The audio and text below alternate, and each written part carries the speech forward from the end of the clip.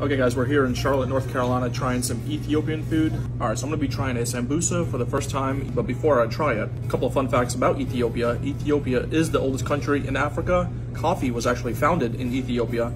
And this, this is for Lucy. Let's try it out.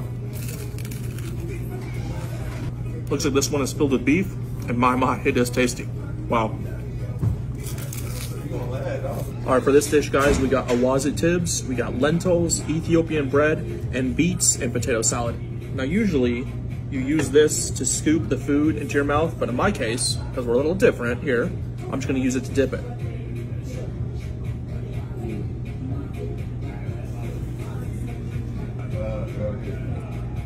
Wow, this right here, the awazi tibs, the juices from that, mmm.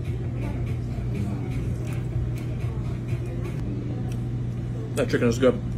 It's got a little spice to it too. All right, let's give the lentils a try.